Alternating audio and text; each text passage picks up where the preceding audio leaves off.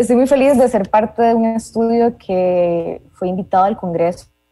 La verdad es un placer para mí y para ANAS también es estar, formar parte de estos espacios de diálogo, de diseño, donde están colegas que nos llenan de mucha inspiración, estudiantes que vienen con demasiadas ansias de aprender. De hecho, recuerdo cuando yo estaba en la universidad y uno este, estaba como en este constante diálogos y demás, uno se llenaba como demasiada fuerza.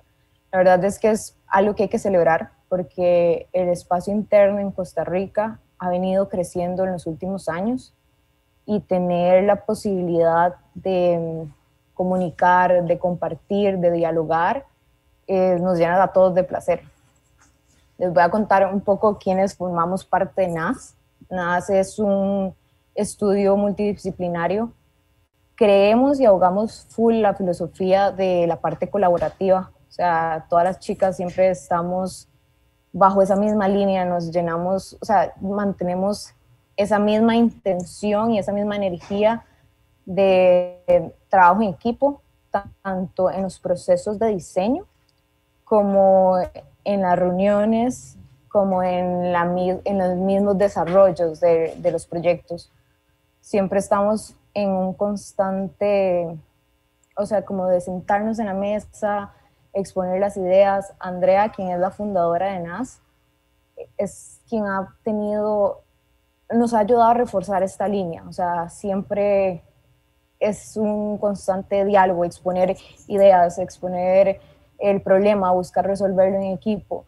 No todas somos eh, diseñadoras, tenemos compañeras que tienen campos totalmente distintos y esto lo hace más atractivo porque al final es ver esas dudas, es como darle ese valor al, al diseño, porque al final a veces hay que romper un poco de que espacio interno es un lujo, es como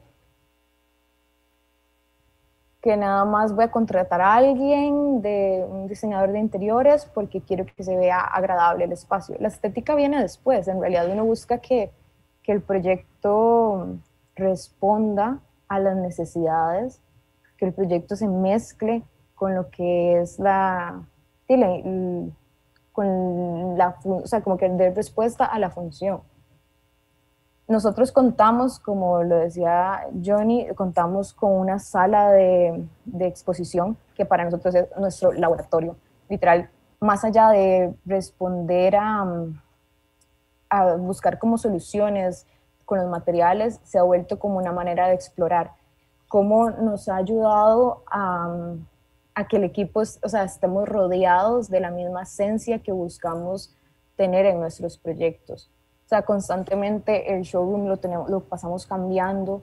Para nosotros es bastante rico llegar y entonces poner materiales, entonces tenemos tal mobiliario, queremos explorar tal pieza que tiene un diseño, no sé, danés o tiene un diseño nacional, entonces ver cómo estas se van mezclando es muy, muy rico volver a, esa parte de, de taller. Monse.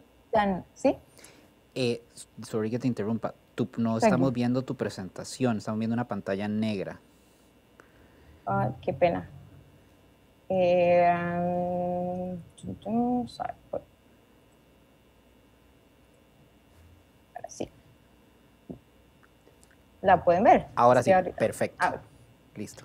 Ok, no sé qué estaba exponiendo. Bueno, de hecho, ya ahora sí ahí está el equipo, el equipo de las chicas. En realidad ahorita somos solo chicas, pero ha sido como por, no sé, grupo.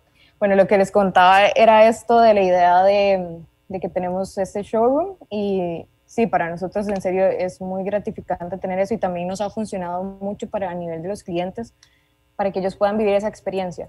O sea, donde pueden llegar a probar piezas y poder ver los materiales, o sea, ver las tonalidades, ver las texturas. Que, bueno, yo soy arquitecta y para mí fue muy, o sea, ha sido muy importante abrirme y respetar lo que es el diseño de producto. Entender cómo todo, cómo empezar como a, desarrollar las cosas a mayor detalle, al confort, a que una pieza, nosotros damos esa sostenibilidad de que si usted incorpora una pieza, esta pueda perdurar en el espacio, pueda transformarse y a veces hasta se vuelve como esa herencia a otra persona o cómo se puede ir cambiando, adaptando a, otro espacio. O sea, siempre de hecho que a veces, no sé, tal vez alguien nada más quiera eh, desarrollar la parte de selección de mobiliario y para nosotros siempre es esencial entender el espacio, o sea, cómo se va a comunicar el objeto, el espacio y quien lo utilice, o sea, ver cómo todo eso se va mezclando. Abogamos demasiado por lo que es nutrirnos con ideas frescas. Como les mencionaba, de verdad, em, siempre tenemos espacios para compartir entre nosotras, hacer un estudio no tan grande, buscamos esos momentos. O sea, bueno, en nuestra cabeza que es de Andrea, ella siempre está en constante, o sea, su estilo de vida es en constante viajes para entender qué está pasando, qué nuevos diseñadores hay. Nosotros siempre también estamos en un, ver qué, qué mm, nuevos artistas, qué nuevos ebanistas, qué nuevos productos o arquitectos tenemos a nuestra, o sea, como de esa manera, como estos nuevos compañeros. No creemos que el estudio sean las chicas que les presenté al inicio, como que nada más son ellas. En realidad empezamos a, entender la línea de compartir o generar alianzas con otras personas, porque al final se vuelve más enriquecedor el proyecto, el proyecto empieza como a mezclarse y empezamos a entender como interior, o sea, se empieza a mezclar con la arquitectura y a dar como esta respuesta y entonces a abrir puertas a diseñadores de producto, a artistas y ya todo, todo se empieza como a integrar mucho más. Les voy a hacer un recorrido por unos proyectos que mm, nos definen, nos han definido tanto como el proceso en que nosotros exploramos y construimos una idea y también como nos han definido a cada una de nosotras en nuestra parte profesional profesional y también como es rico ver como esa línea de, la, de, nuestra manera personal y, y, profesional se mezcla porque sí trabajamos con mucha pasión, o sea, trabajamos con mucha pasión y entre nosotras tratamos de, de darle mayor fuerza a eso, o sea, siempre vemos como nuestro día a día es casi con la, la misma energía que que estamos aquí desarrollando algo, como a algunas les interesa la moda, eh, el cine, la lectura, entonces como todas esas cosas se van como mezclando y queremos exponerles proyectos que entiendan un poco cómo nosotras operamos, cómo nos hemos ido definiendo y cómo hemos ido aprendiendo, porque es un constante aprender, aprender de otros. No les voy a explicar tanto tal vez como el proyecto como tal, sino como tener ese diálogo de como en esta escena. Bueno, en Antipa es un proyecto que se dio en el 2018, en 2019 ya se concluyó. Fue bastante interesante porque logramos el dinamismo de mezclar elementos eh, bastante artesanales con elementos que venían con una fabricación de mayor tecnología. Y esto siento que era como una línea que venía mucho también desde la arquitectura, por eso les mencionaba que nosotros siempre entendemos primero lo que es el espacio. De hecho, nunca empezamos ningún proyecto con un lápiz, o sea, un lápiz.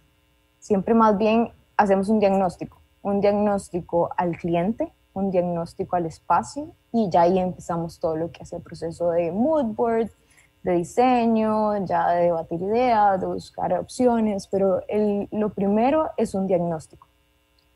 Entender cómo iba a ser el, la arquitectura, eso se trabajó con Garnier Arquitectos, y ver esta parte del volúmenes bastante puros, bastante limpios, pero cómo ellos mezclaban, cómo se incorporaban con lo que es la naturaleza, con la naturaleza que es tan cambiante, como el paisajismo empezaba a abrazarlo dijimos, ok, ese mismo concepto, incorporarlo en el interior. Entonces hay elementos que tienen una fabricación totalmente artesanal, donde las piezas se ve la diferencia de una a la otra, a pesar de que sea una misma colección, y ver cómo también están estas piezas totalmente limpias, con una fabricación con mayor tecnología.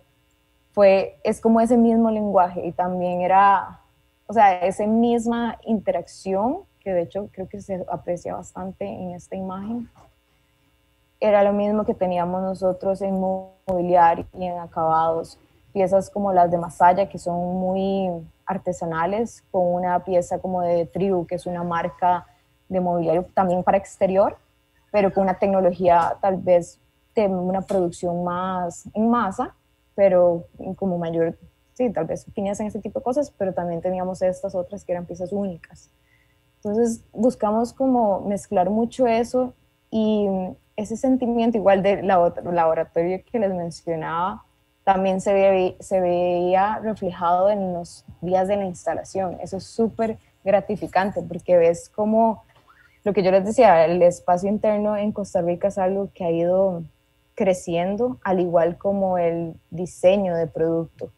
Entonces llegar y entonces tener un montaje y estás como colocando piezas o materiales que tal vez importaron y entonces está el fabricante que también está analizando y viendo cómo sus sus proyectos se mezclan con estas otras, entendiendo eh, detalles de, de, las otras piezas y ese mismo dinamismo que nosotros ya traíamos, esa misma energía, se ve el día de la instalación, se ve en el espacio. Empezar a ver eh, estas marcas de renombre que tienen el, materiales súper interesantes, el cáñamo en este caso fue una uno de los materiales que se utilizó para una de esas sillas, que es de esta marca Trio que les mencionaba, es una marca de bastante renombre, y ver cómo se mezclaba con todo lo, más, lo otro mucho más natural es muy dinámico. De hecho, parte de, de tener esta mezcla es como el mismo diálogo que, que nosotros siempre buscamos, ver artistas, eh, digamos, en este caso el macramé es de una diseñadora nacional.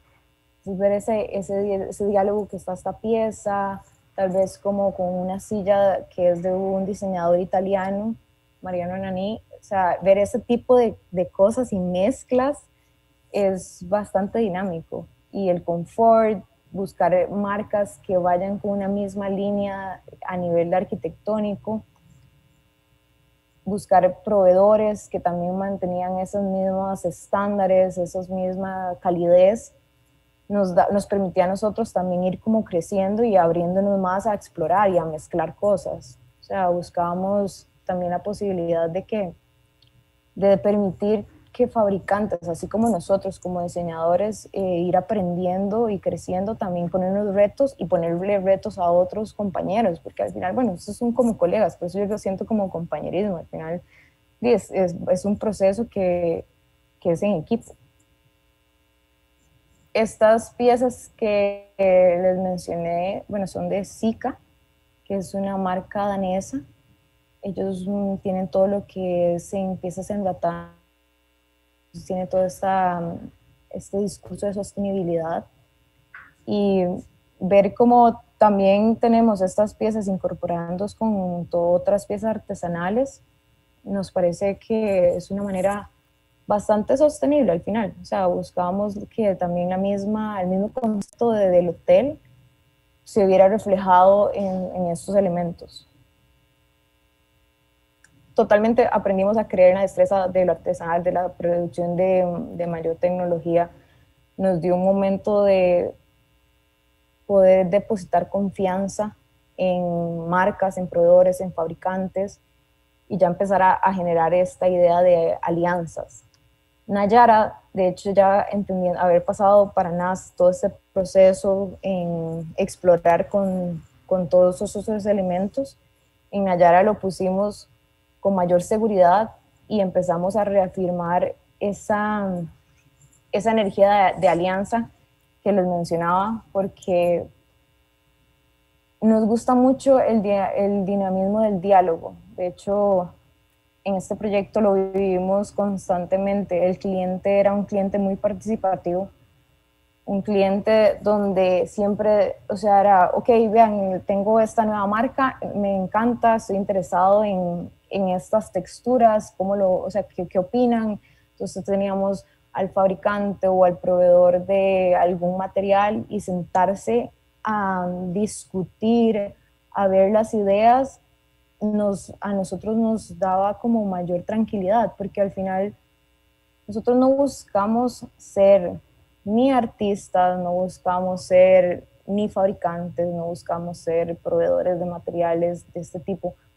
Al final respetamos mucho cada una de, de esas áreas y sí tratamos de quitar o sea, el ego totalmente de la mesa y sentarnos y aprender de, de, otros y poder tener estos momentos para discutir, para que el proyecto empiece como a tener mayor solidez, o sea, permitir que otros puedan exponer sus procesos, puedan debatirnos, o sea, siempre estamos como en, en ese constante dinamismo.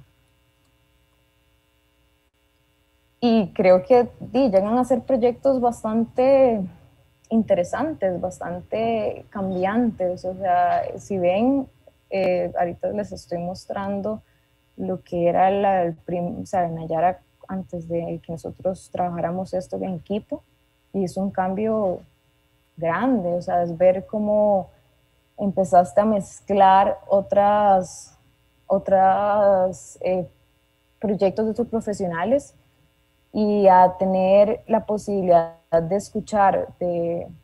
Suena como que a veces uno dispara demasiadas ideas porque si decís, bueno, pero es que entonces me mezclé con este otro proveedor y con no sé qué y demás, pero al final no, es una, bajo una misma línea, o sea, tenemos una misma dirección, una, o sea, hemos reafirmado un mismo proceso. Y cuando les mencionaba de que nosotros no buscamos ni ser artistas, ni ser tan protagonistas en el proyecto. También respetamos cuando un artista tiene que ser protagonista en el proyecto. Entropía es una chica que es una artista nacional, quien, con quien hemos trabajado.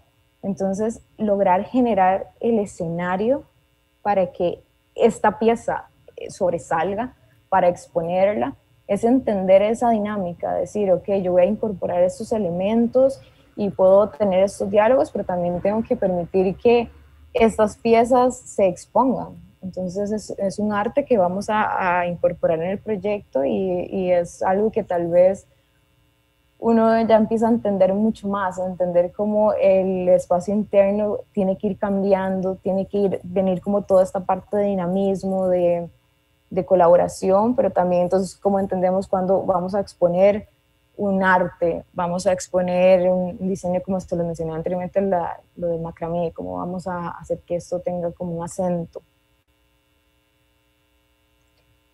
Y fue totalmente entender que vamos a reforzar la parte de colaboración, construir alianzas, porque cada vez ese proceso, tal vez como en, en, para entrar en otro proyecto, se volvía más fácil se volvió más fácil porque ya podías entender cómo operaban los fabricantes, podías entender cómo eh, ciertos productos iban a, a, reaccionar en tal espacio, podías entender a quién incorporar, qué artista incorporar en este concepto, en esta necesidad. Entonces ya para nosotros ir construyendo ese tipo de alianzas hace que el proyecto se vuelva más dinámico, más, con mayor seguridad. The Retreat es un proyecto que para mí fue reafirmar totalmente el valor del diseño. Que como se los mencioné al inicio, espacio interno en Costa Rica es algo que ha ido creciendo y empezar a darle ese valor donde borrar muchas cosas de esa idea de que es algo simplemente como de lujo o, es, o que nada más no va a responder a una necesidad o no va a ayudar a una marca en ver esa posibilidad. Ese fue un proyecto muy claro, porque mm, de primero tuvimos que entender ese diagnóstico, ok, vamos a entender quién es nuestro cliente, la esencia del cliente, aprender a leerlo. Y después el entorno, o sea, que era algo que ellos de hecho tenían muy fuerte, es una marca muy estable, totalmente claros de qué eran los elementos que querían potencializar en, su, en la arquitectura, en la experiencia.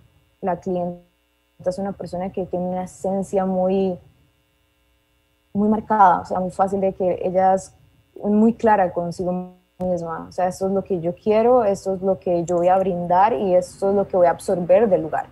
Entonces nosotros teníamos que lograr dar esa misma experiencia en el proyecto, o sea, lograr que esa idea de calma, de paz, de elementos naturales, reforzarlos, se vean en el mismo proyecto.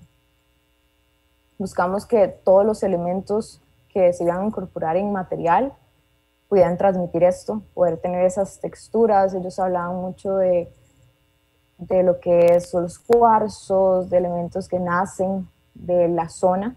Entonces, cómo buscar también estos en materiales, verlos ya implícitos en todo lo que es el interiorismo, lograr tener esos cambios de, de textura, de espacios más cálidos, siempre como con una línea bastante en calma, de desconexión y poder de nuevo tener la posibilidad de exponer arte con un concepto muy claro. Obra Gris es otro de los artistas con quien hemos trabajado, poder transmitirle también a Oscar esa idea de lo que queríamos, poder permitirle hacer un escenario para que la obra de él se exponga y que también vaya con toda esta misma idea de sacar provecho del entorno de esa misma intención de, o sea, como de, lo que son las, los, las texturas, los nudos, tener otros elementos un poco más lisos para que poder resaltarlo, es parte de, lo que uno tiene como tarea, o sea, al final.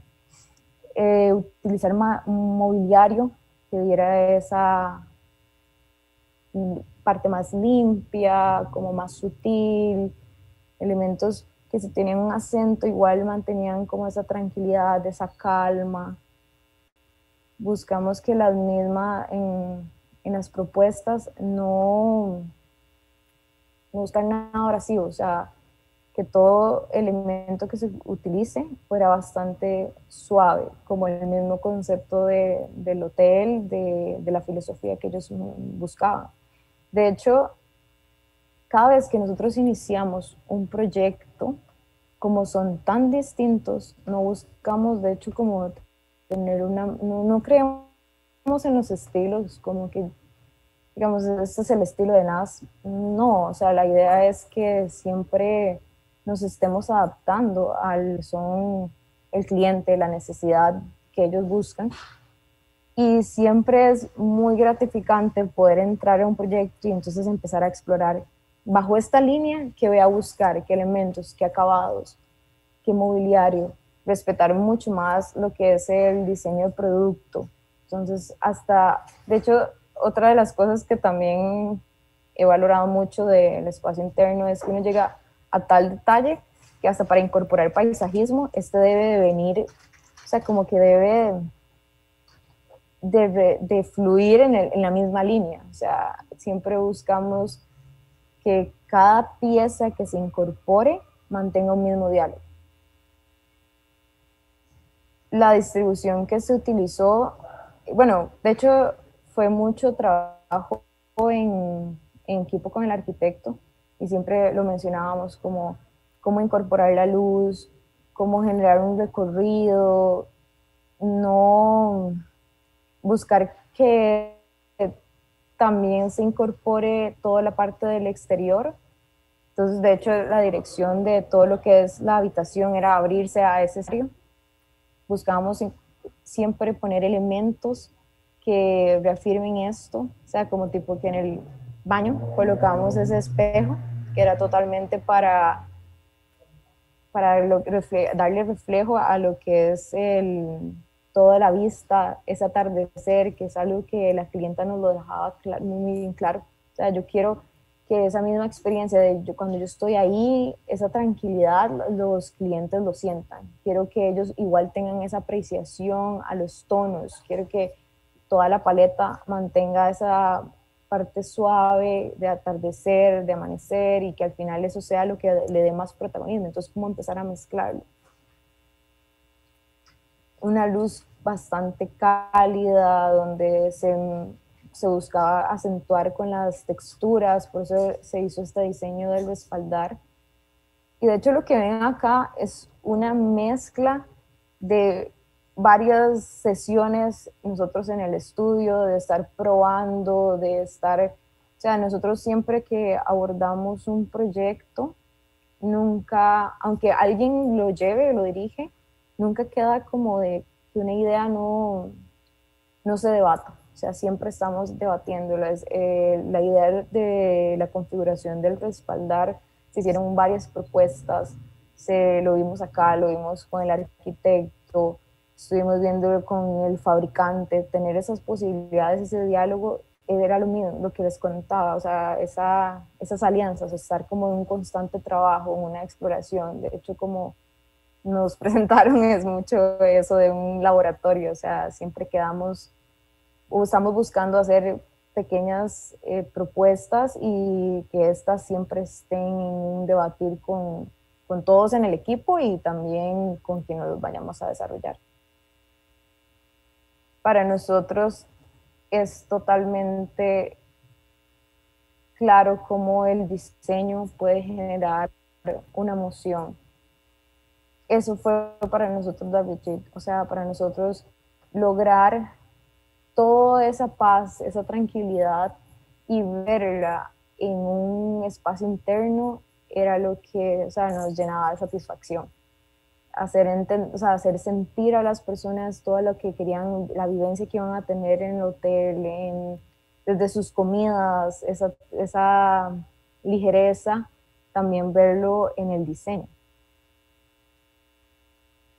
Este proyecto es un proyecto de una residencia que hicimos y fue, fue un reto porque fue un proyecto extenso con clientes con un alto nivel de conocimiento del diseño, un equipo grande, lo trabajamos con también Garnier Arquitectos, fue un, reto, la verdad, para nosotros, porque fueron un proceso de, muchas, de muchas pruebas y error, y de hecho nos dimos cuenta que que distintas propuestas iban cambiando, pero nunca es algo que se desechaba. O sea, simplemente nos ayudaba a reforzar más otras maneras de operar, a reforzar más el diseño, para nosotros siempre estar aprendiendo más, buscando otras, otras piezas, nuevas maneras de comunicar el mismo.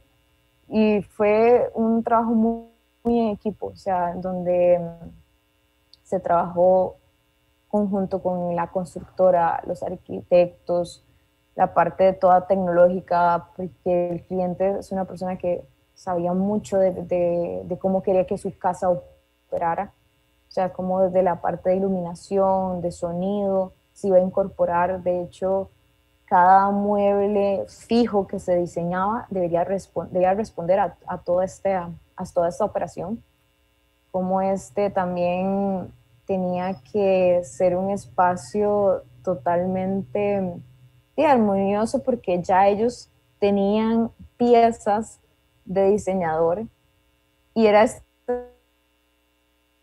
que se anteriormente con el proyecto de Nayara generar ese escenario para exhibir una pieza. Al final, esta, este proyecto residencial fue eso, fue entender hacer un levantamiento de cada pieza que ellos tenían de distintos diseñadores y lograr que esto fuera un museo de todos sus elementos, de todos sus elementos y además que respondieron a la necesidad, que es una residencia, es un espacio muy íntimo. Como la acabados no iba a ser, no iban a competir con todo lograr si me siguen escuchando, es que me salió que mi internet no está muy bien. Bueno, pero sí. Eh, lograr hacer ese tipo de escenarios es bastante enriquecedor y también volvemos a lo mismo para nosotros empezar a ver cómo otros diseñadores de acá de Costa Rica empiezan a crecer en su ámbito y cada vez que nosotros hacíamos una instalación iba el, tal vez un diseñador de, de producto como más que está empezando y dos otras piezas que tienen su trayectoria. Entonces empezar a dar esa posibilidad de esos escenarios es, es muy rico a construir diseño, a construir, a darle esa fuerza al diseño.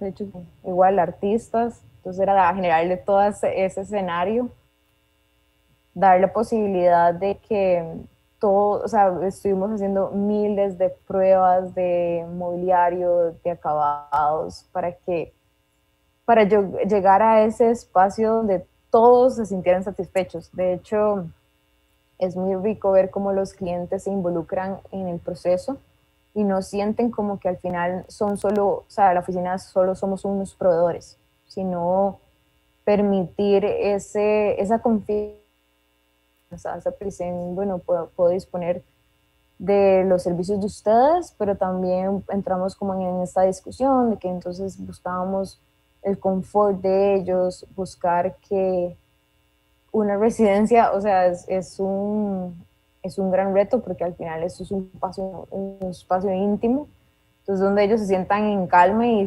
poder en, en la vivienda. Estas son unas fotos el día de la instalación, ya después de ver todo ese proceso, todo ver todo el detalle que logramos, toda la comunicación que hubo con arquitectura, con la parte de técnica, fue sus piezas para tener su vida,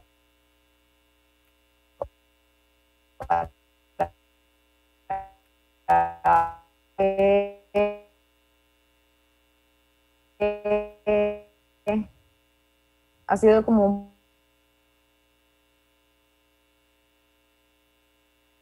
que, al final es donde habitamos, más que es una firma donde de verdad nos apasiona mucho lo que hacemos, siempre estamos en un constante aprendizaje, nos llena siempre como que ningún proceso en serio se vuelve como algo que desechamos. Siempre estamos todavía en exploración, entendiendo que la escena está creciendo, que se está apoyando. De hecho, esto me, me, hubiera gustado que fuera más un diálogo porque creo que hay muchas cosas en las cuales uno tiene, o sea, cuando yo empecé tenía como dudas de cómo empezar a, a darle fuerza a, a la misma, a carrera o cómo darle fuerza a, la necesidad, a hacerle entender a la persona la necesidad del interiorismo. Entonces siempre estamos en un constante diálogo, en reafirmarlo, la manera en que nosotros exponemos nuestros proyectos em, es darle valor también a cada pieza que hay, a cada artista que hay, a cada fabricante. O sea, no solamente hablamos de eh, nosotros como diseñadores, sino es un conjunto. O sea, siempre, de hecho, si ustedes pueden ver en nuestra plataforma, eh, hablamos mucho de los diseñadores que hay detrás de cada punto, de los fabricantes, de los productos, o sea, de los elementos o materiales que se utilizan. NAS tiene una filosofía bastante clara en, en esto de laboratorio, de aprender. Buscamos que igual el showroom se, siempre está cambiando y adaptándose a, a nuevas tendencias, dándole espacio a que otros puedan exhibir sus piezas. Andrea se ha encargado de hacer toda una curación de, toda, de todos los elementos y sentimos mucho esa facilidad de, de adaptarnos, de entender que cada proyecto es distinto. Eso ha sido como el enfoque que hemos seguido y que ha seguido de nada. Nos, nos llena de mucha satisfacción el estar acá, el poder exponerles un poco de lo que nosotros hacemos. Siempre tener la posibilidad de colaborar, o sea, de, de trabajar en equipo, de que es una... Al final es muy rica en eso, o sea, permite mucho eso. Pueda comprar diálogo, que eso es algo que se puede seguir manteniendo en la parte laboral, no solamente es algo que queda en la academia, no, no solamente queda como en la parte de, cuando estábamos en taller, sino que también una oficina puede seguir trabajando bajo esos términos. Entonces, no sé si alguien tiene alguna duda o algún comentario. En realidad, creo que eso es lo rico de estos espacios de diálogo, de consultas. ¿Me escuchan? Sí, sí gracias. Monse, gracias por tu presentación. Eh, gracias a vos, a Andrea. Eh, efectivamente, hay preguntas y vamos a abordar un par. Eh, preguntan que, ¿cómo hace un arquitecto, arquitecta joven que está iniciando su estudio para trabajar con un estudio como ustedes, ya que has planteado que ustedes se convierten en un socio de los proyectos? ¿Cómo hace una arquitecta para trabajar con nosotros? Vieras que en realidad has trabajado hasta intervenciones como desde arquitectura, personas que han llegado a lo que son, no sé, un proyecto y nos dicen necesitamos que debatamos esta, esta idea o diseñadores de producto que nos han venido a decir como queremos usar el showroom de ustedes que tenemos, mezclarlo.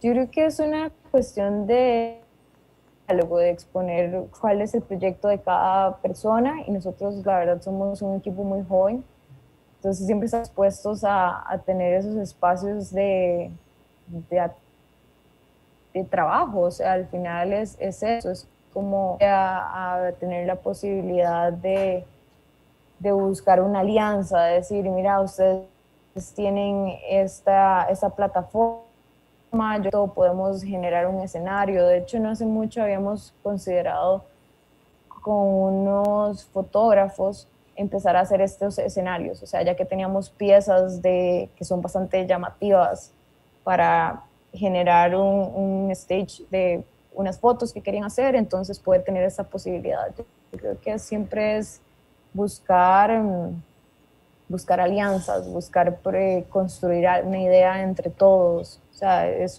una, es una carrera que permite eso. Tienes toda la razón, es una carrera versátil y también la versatilidad de la, de la profesión me preguntan, te preguntan desde Venezuela que si les ha tocado fabricar algún mobiliario específico o si consiguen o si siempre consiguen o si no consiguen siempre lo indicado para el proyecto, lo pueden fabricar o todos son comprados. Sí hemos, eh, sí hemos fabricado, como de hecho lo mencioné anteriormente, no busca, o sea, hay cosas que sí respetamos. Em, de hecho, el, el, primer proyecto que les mostré era respetar un, cuando elementos sí es mejor eh, saber que tienen X tipo de fabricación, tipo de material y que van a resistir. Costa Rica es un, un país con condiciones climáticas muy complejas entonces hay que respetar ciertas cosas porque no vas a poner en riesgo el proyecto por, por un capricho. Pero sí hemos fabricado y también entonces entendemos con qué contamos, con qué fabricantes contamos, con qué ebanistas contamos, con qué materiales contamos en el país.